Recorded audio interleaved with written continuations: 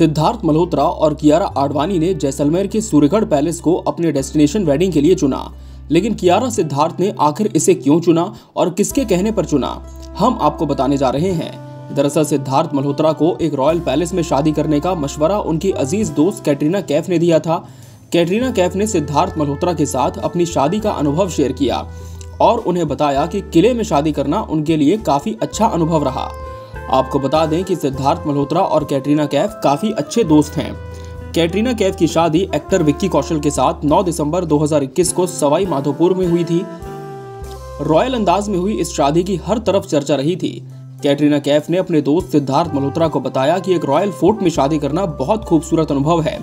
और खबरों की माने तो उसके बाद ही सिद्धार्थ ने सूर्यगढ़ फोर्ट को शादी के लिए फाइनल किया। जैसलमेर का सूर्यगढ़ फोर्ट गुलाबी रोशनी में नहाता नज़र आ रहा है। संगीत सेरेमनी में कियारा आडवाणी के भाई ने खास परफॉर्मेंस दी। उनका बागी परिवार गोरी नाल और रंग सारी सॉन्ग पर परफॉर्म करता दिखा। और करण जौहर और शाहिद कपूर ने डोला रे डोला सॉन्ग पर डांस किया। बाकी स्टार्स ने भी इस रात को खूब एंजॉय किया।